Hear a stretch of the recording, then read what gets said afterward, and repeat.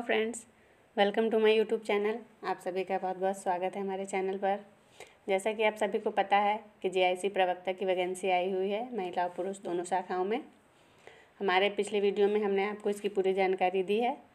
आज की वीडियो में हम आपको बताएँगे कि कैसे फॉर्म फिल करना है, कहाँ पर जाना है, किस साइट से फॉर्म फिल होगा।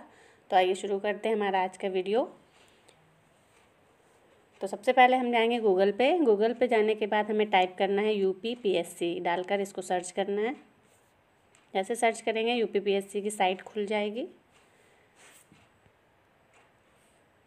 जिसको आपको ओपन करना है। ओपन करने के बाद आपके लेफ़्ट साइड में आ रहा है। सबसे पहले आपका कैंडिडेट रजिस्ट्रेशन इस पर जाके हमको सबसे पहले रजिस्ट्रेशन करना होगा। इस पर क्लिक करेंगे।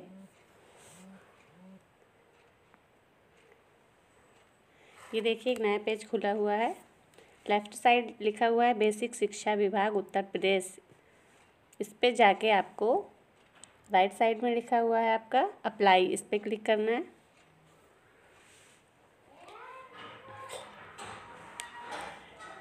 क्लिक करते ही यहाँ पर एक नया पेज खुलेगा।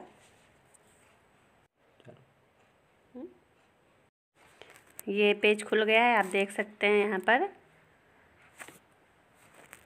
ये सभी विषयों का यहाँ पे पढ़ा हुआ है।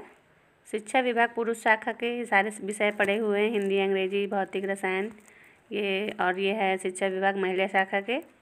तो जिस भी विषय में आपको फॉर्म फिलअप करना है, यहाँ से आप कर सकते हैं। यहाँ आपको राइट साइड में दिख रहा होगा रजिस्ट्रेशन तो इस पर आपको रजिस्ट्रेशन पे क्लिक करना है। अगर आपको रजिस्ट्रेशन करना है और अगर आपको जानकारी चाहिए है इसकी, क्वालिफ़िकेशन वगैरह देखना है तो यहाँ पे व्यू में क्लिक करेंगे। व्यू में क्लिक करेंगे तो यहाँ आपको इसकी जो क्वालिफ़िकेशन मांगी गई है, जैसे हिंदी का, हिंदी पे मैंने क्लिक किया है तो यहाँ पे इसकी क्वालिफ़िकेशन मांगी गई है। हिंदी में स्नातकोत्तर उपाधि और संस्कृत विषय के साथ कला स्नातक या संस्कृत विश्वविद्यालय वाराणसी की शास्त्रीय परीक्षा का प्रमाण पत्र। तो ये इसकी क्वालिफ़िकेशन है। इसके साथ में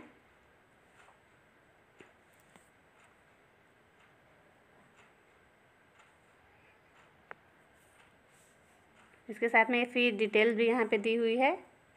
अनरिजर्व जनरल के लिए एक सौ पच्चीस रुपये एस के लिए पैंसठ रुपये एस के लिए पैंसठ रुपये ओ बी सी एक सौ पच्चीस एक्स आर्मी के लिए पैंसठ रुपये है और फ़िज़िकल हैंडीकैप के लिए पच्चीस रुपये है। तो ये यहाँ पे अगर आपको जो भी क्वालिफ़िकेशन देखना है तो यहाँ से आप जाकर देख सकते हैं।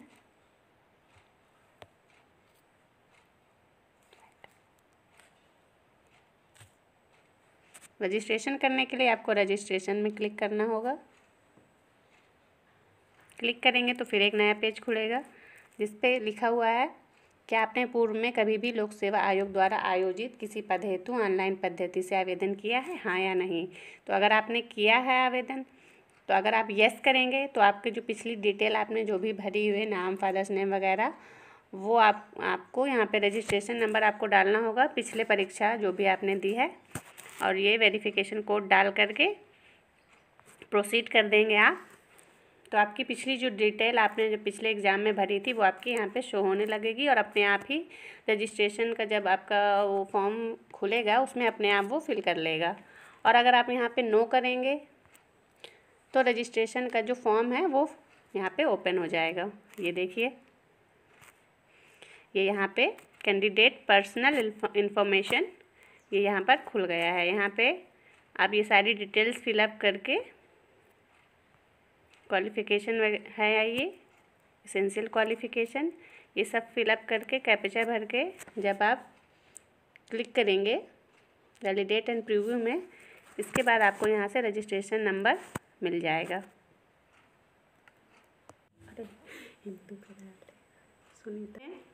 हम, ये रजिस्ट्रेशन के लिए हम यहाँ पे भरना शुरू करते हैं। सबसे पहले आपको डालना है यहाँ पे कैंडिडेट नेम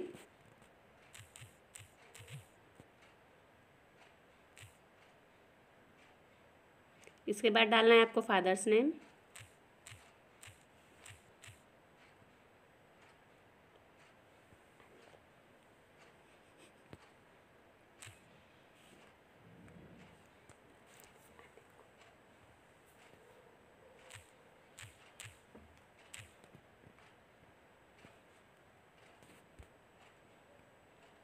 फिर आपको डालना है, आपका डोमिसाइल आपको डालना है ऑफ़ यूपी। तो यस कर देंगे यहाँ पे, अगर आप उत्तर प्रदेश के निवासी हैं।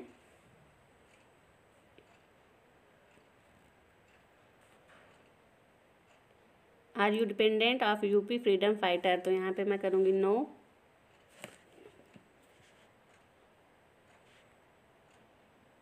फिर आप एक्स आर्मी इसको भी नो करेंगे।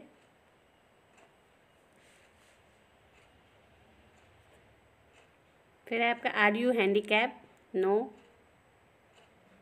अगर आप विकलांग नहीं हैं तो नो करेंगे, हैं तो यस कर देंगे।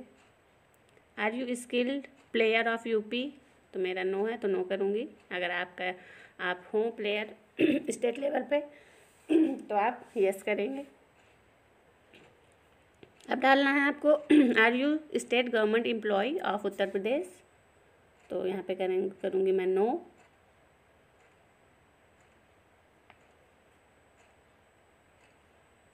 यहाँ भी नो करेंगे।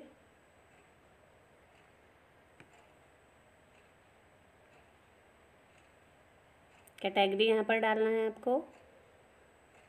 मेरा है जनरल तो मैं जन सामान्य डालूँगी।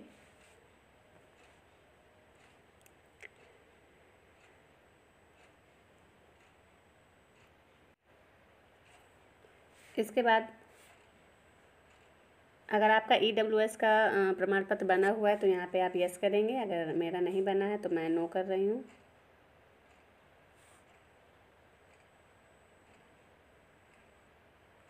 इसके बाद यहाँ पे डालना है आपको डेट ऑफ़ बर्थ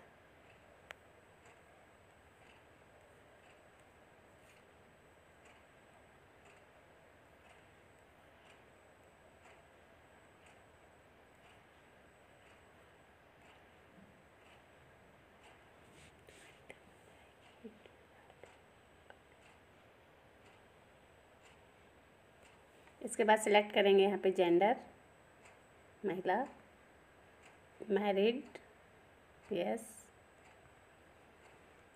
यहाँ पे आपको देना है मोबाइल नंबर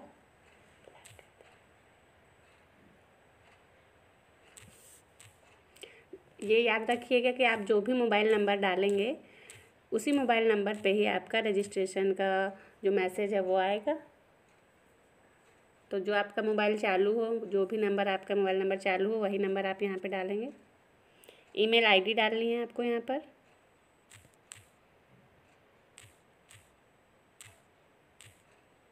ईमेल आईडी में भी मेल के द्वारा आपको समय समय पे सूचित किया जाएगा। एडमिट कार्ड के लिए, परीक्षा की डेट के लिए, इसी पे आपके मैसेज आएँगे, मेल आएगा।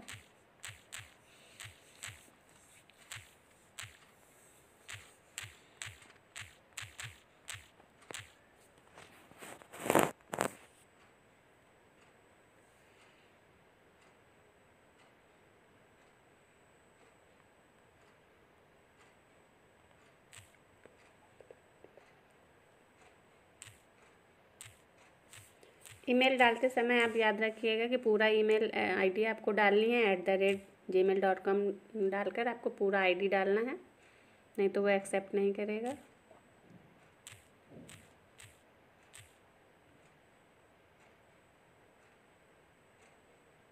इसके बाद आपको क्वालिफ़िकेशन डालनी है अपना हाई स्कूल का बोर्ड का नेम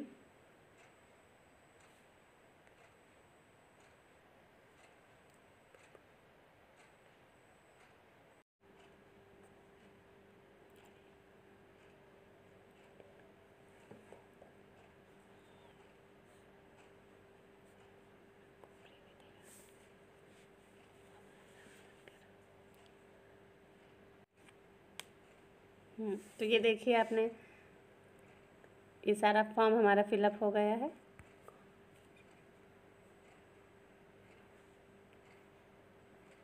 इसको अगर जो भी आपने अगर कुछ गलत गलतियाँ की है, कुछ गलत हो गया है आपका तो यहाँ से आप इसको एडिट भी कर सकते हैं।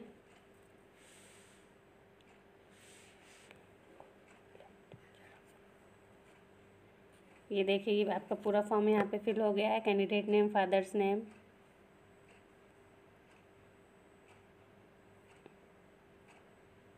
ये देखिए पूरा फॉर्म ये फिल हो गया है। आप यहाँ से प्रीव्यू कर सकते हैं।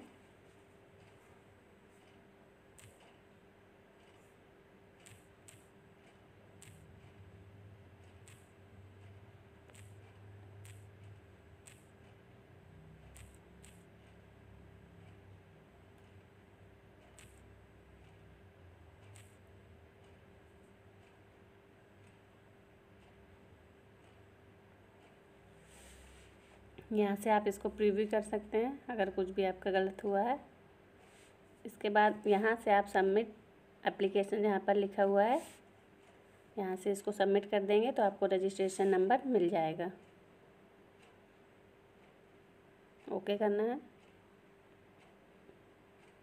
ये देखिए, लिख के आ गया congratulations you have been registered successfully ये हमारा यहाँ पे रजिस्ट्रेशन नंबर आ गया है ये seven one nine double zero one two three five five one. ये आ रहा है candidate name, Rohit Kumar, father's name Anil Kumar. ये पूरी आपका क्वालिफिकेशंस ये नीचे आ रही है। इसके बाद हमें फ़ी फ़ी डिपॉज़िट में जाना है, जनरल के लिए वन ट्वेंटी फाइव रुपीज़ है। जब हम फ़ी सबमिट कर देंगे, इसके बाद हमारा फॉर्म जो है वो भरने के लिए ओपन हो जाएगा, रजिस्ट्रेशन के बाद।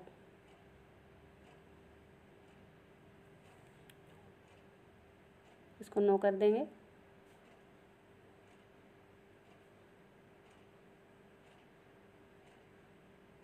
ये देखिए हमारा रजिस्ट्रेशन नंबर हमें मिल गया है। अब हमें जाना है फ़ी डिपॉज़िट पर। तो प्रोसीड फॉर फ़ी डिपॉज़िट करेंगे वन ट्वेंटी फाइव रुपीज़ तब हमारा आगे का फॉर्म यहाँ पर ओपन हो जाएगा फ़ी डिपॉज़िट करने के बाद। ऑनलाइन ही आपको डिपॉज़िट करना है। अगर आपका आई में है एस बी आई या योनो से करेंगे तो आपको बैंक चार्ज नहीं लगेगा। अदर बैंक में आपको सिक्स रुपीज़ बैंक चार्जेस लगेंगे। तो मैं आई नेट बैंकिंग से करूँगी। इसके आ, इसके आगे का वीडियो आगे की जानकारी हम अपने हमारे अगले वीडियो में देंगे। तब तक आप रजिस्ट्रेशन करिए। मिलते हैं अगले वीडियो में। Bye bye